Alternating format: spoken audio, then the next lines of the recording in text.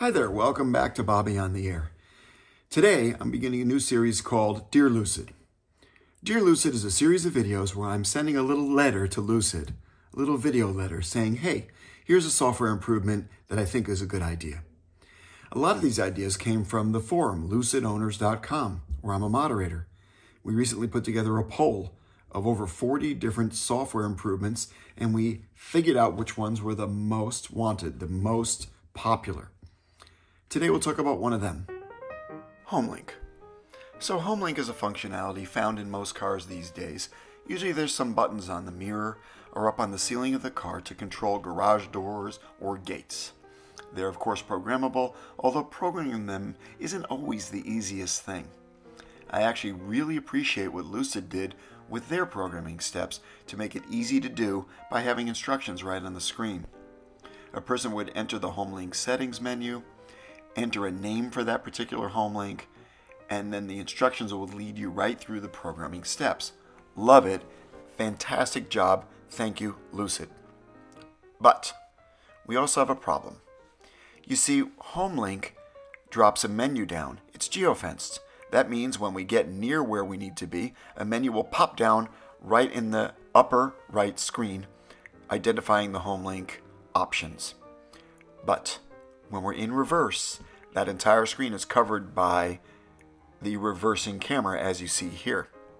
And no matter what, there's no spot for the HomeLink menu, and the button for it, which would normally be in the title bar at the top, is gone. The only way is to X out of that backup camera, hit the button, close the garage, and now I'd like to back up more. I'm still in reverse, but no camera. I do have the lower camera, but I want a backup, a reversing camera. The only way to facilitate that is to stop, put the car into park, and put the car back into reverse to get the camera to pop back on. This doesn't make sense. Several button presses, several gear shifts while I'm reversing, which is when we have a little bit of danger going on behind us. Here's a solution I think might work. If only we could move the HomeLink controls over to the left-hand screen, the cockpit display on the left-hand side of the driver. Right now we have about five different wiper controls, four different light controls, some other controls for defroster, defogger, and all these are very important.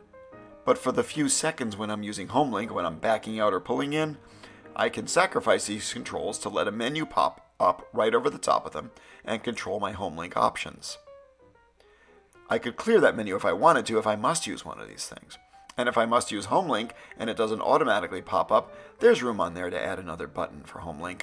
Perhaps we can consolidate the wiper buttons. And that's today's installment of Dear Lucid. Please comment below if you have any Dear Lucid videos you'd like to see. Meanwhile, I'll be covering some of the most popular ones from lucidowners.com I encourage you to visit the site and become a member if you are a Lucid owner or enthusiast. If you like this type of automotive content, please like, share, and subscribe. Thanks for watching.